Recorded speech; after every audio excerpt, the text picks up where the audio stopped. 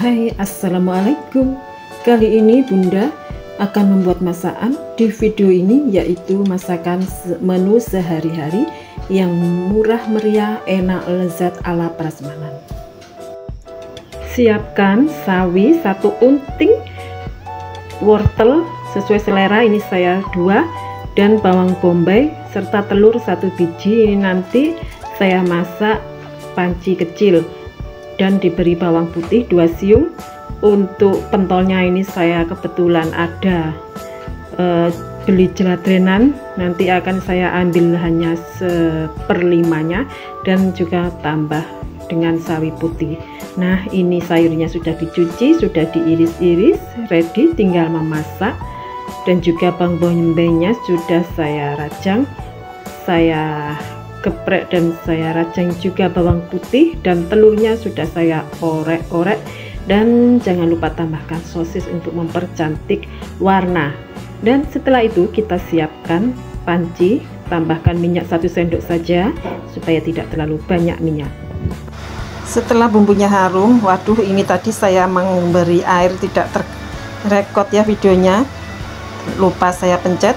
Setelah airnya mendidih tadi saya beri air 1 eh, 500 ml kemudian wortel setelah dimasukkan melunak dan ini saya siapkan tepung kanji satu sendok makan ditambahi air nanti sebagai pengental jangan banyak-banyak.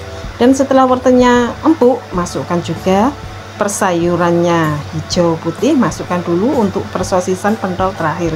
Tadi saya beri pentol karena saya memasak pentol saya gunting-gunting di ujungnya plastik ya. Dan saya angkat pentolnya jadi supaya tidak terlalu mateng.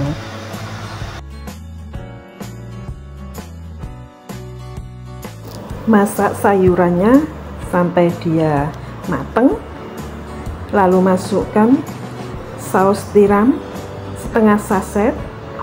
Jangan banyak-banyak. Telah masuk. Ini saus tiram kalau terlalu lama juga rasanya juga hambar ya. Jadi saus tiram berbarengan dengan sosis dan pentol. Dimasak sebentar sampai umap saja dan juga telur oreknya dimasukkan.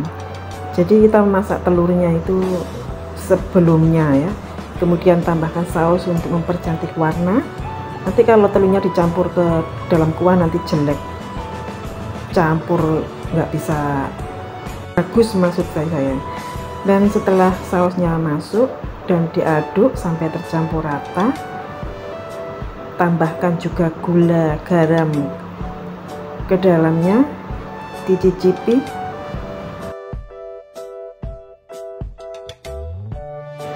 Kalau warnanya kurang cantik boleh tambahkan saus tomat kalau tidak suka dengan warna merah tidak suka saus boleh di skip.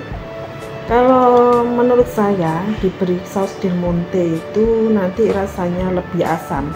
Jadi saya suka dengan saus yang biasa tapi yang ini saya pakai merek jempol ini pasti enak.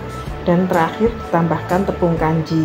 Jangan kental-kental dan ini sangat enak sekali jadi rahasianya itu diberi bawang bombay. Kalau capcay kalau tidak ada bawang bombay saya pastikan tidak akan enak rasanya. Bawang bombay cukup separuhnya. Kalau buat banyak ya juga ditambahkan banyak. Terima kasih. Ini sudah ready bisa dimakan.